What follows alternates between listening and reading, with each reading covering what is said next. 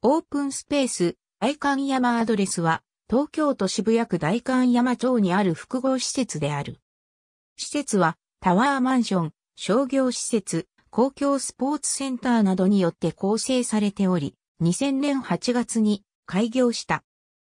大観山アドレスは、所在地にかつて存在した旧道巡回アパート36棟などの建て替え、再開発によって建設された。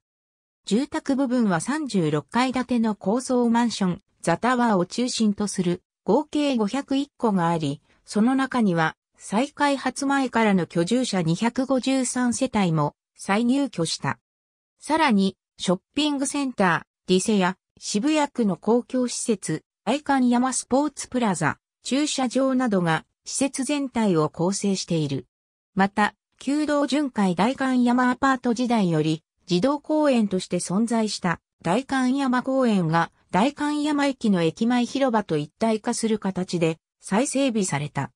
再開発においては、都市再開発法に基づく組合施行の事業方式が採用され、公共施設の整備や公開空地の設置などによって、容積率の緩和や補助金の助成を得ている。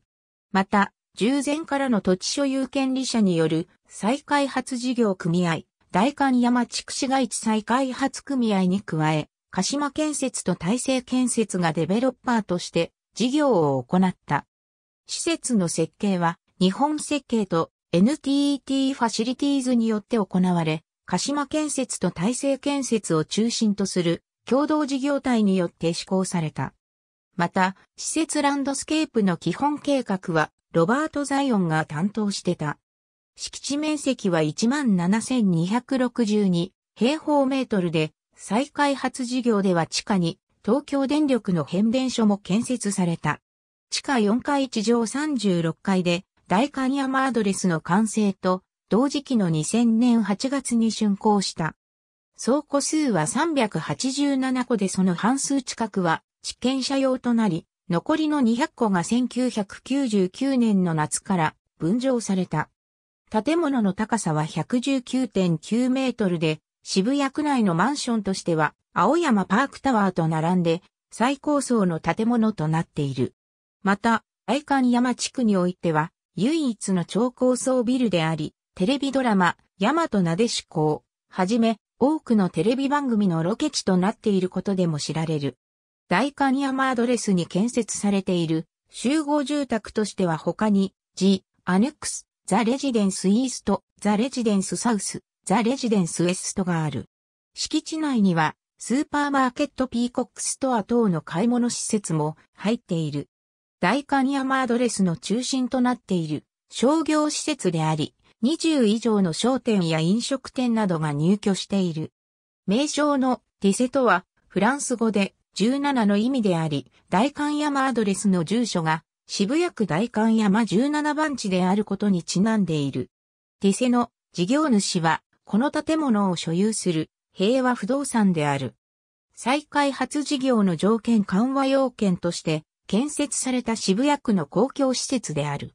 屋内の温水プール2つ、屋外の幼児プールのほか、卓球やエアロビクスなど各種スポーツのための多目的室などがあり、渋谷区の住民のほか、同区の在勤、在学者に利用資格が与えられている。大観山アドレスの地下には、再開発事業の一環として、東京電力の変電所が建設されている。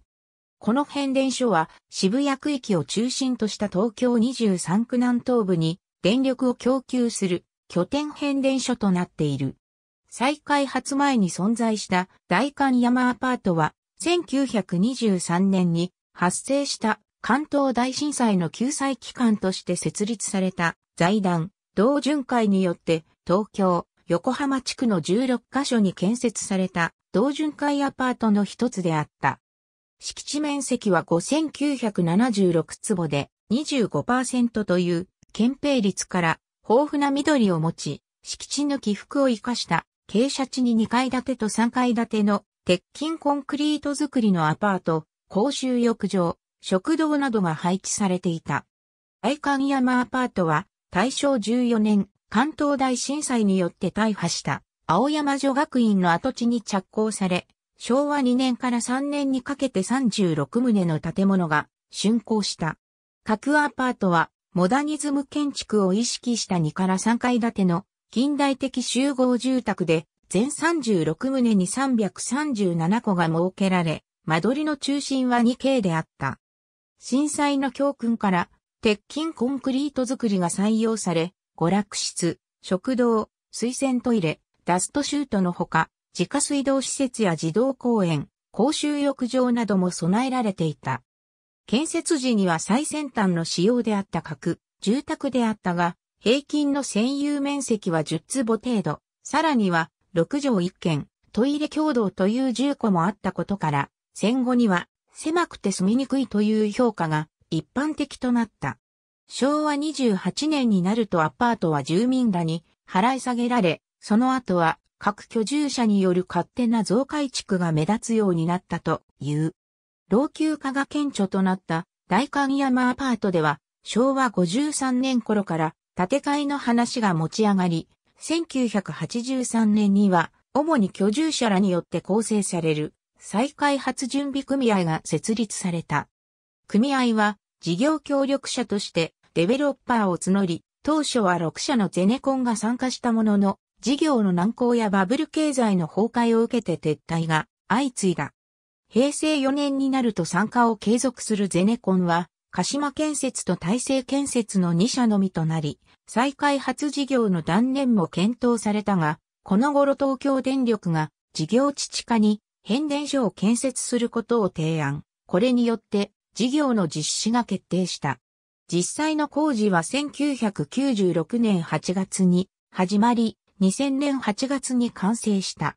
事業が難航した要因の一つに、権利返還の必要な権利者住宅が253戸、地権者は約500名と多数であったことが挙げられている。